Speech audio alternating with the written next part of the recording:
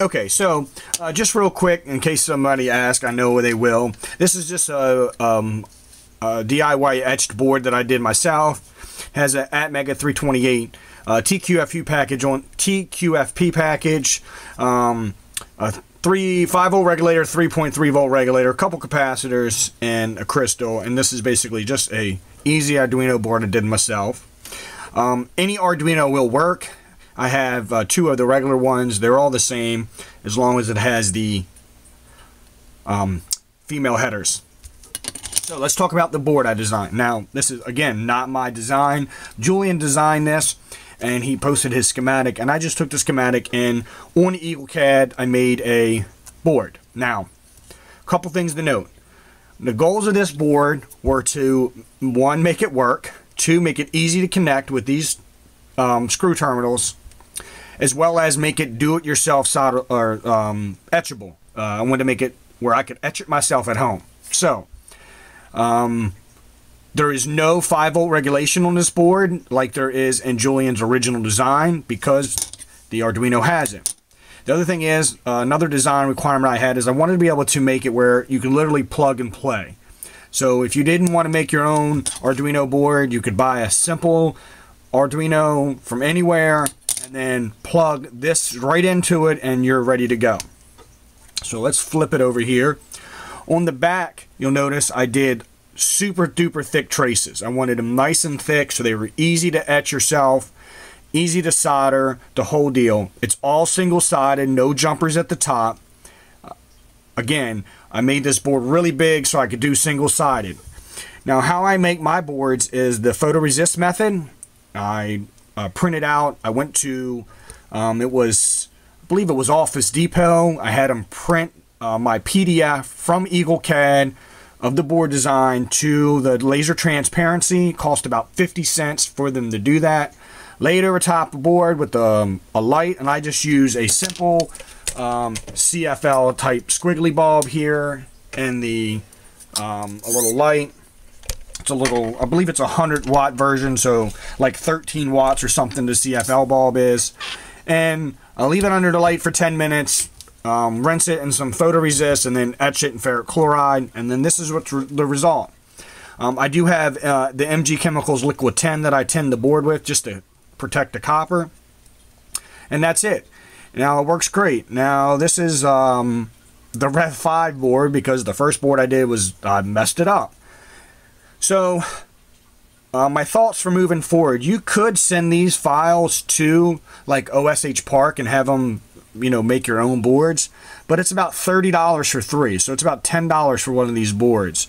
So again, I made it big so that you could do it yourself.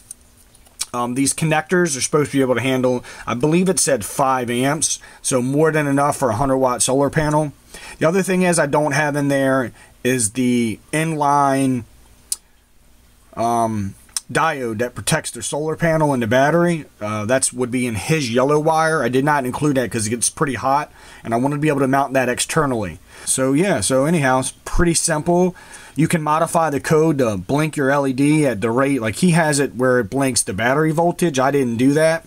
Um, I wanted to be able to visually see what the PWM was doing for testing so you can easily change that into code. I will post the board files down below in the video description. Okay, again, I did not design the PWM charge controller. Julian did. I just used his schematics to make this hardware board.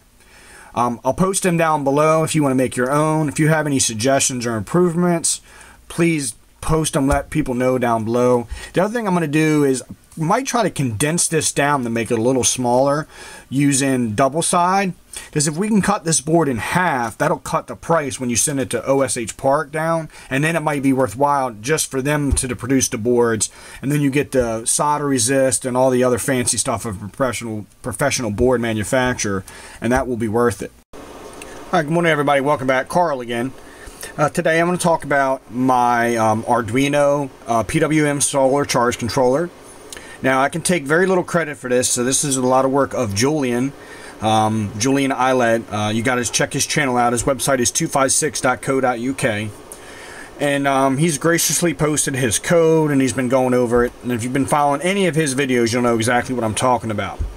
So this is my Arduino shield that I made of the PWM5. Um, once we go through it, I'll take it apart and show you uh, how I designed it. Uh, this is an Arduino, uh, my do-it-yourself Arduino at the bottom, uh, with his PWM5 code.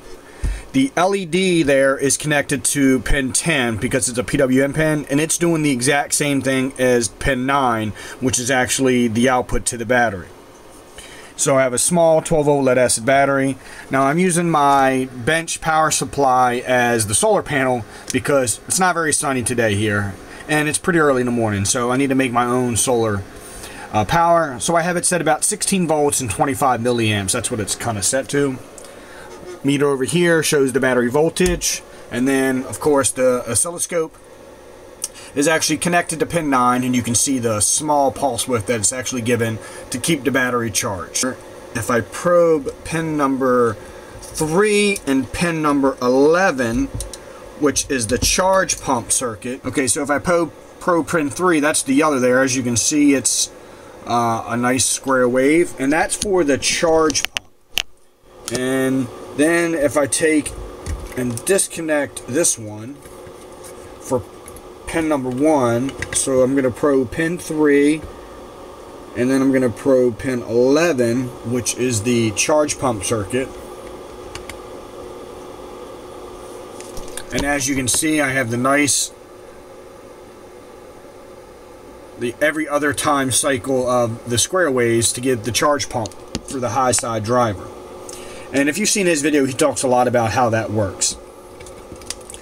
Alright, nevertheless, let's go back to pin 9. And there is the PWM of the solar charge controller. And you can see the light is blinking. I don't know how if the camera's going to pick that up or not, but you can see the light blinking. And I have just this small little light bulb here. Let's put a small load on the the battery and you'll see what happens here.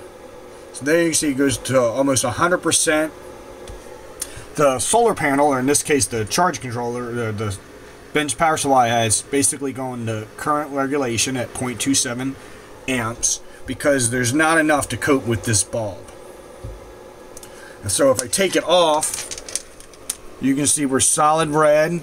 We're still at 0.27, and so now it's going to take just a second for the battery to catch up on the charge. And then once it catches up, you'll see the PWM start. All right, and there you go. There's the light blinking again. Hopefully the camera will pick the blinking up. And then there is the regulation. Okay, so I got it working. It's a working prototype. Uh, let me move all this junk off my desk and I'll show you the board and let you know how I did it.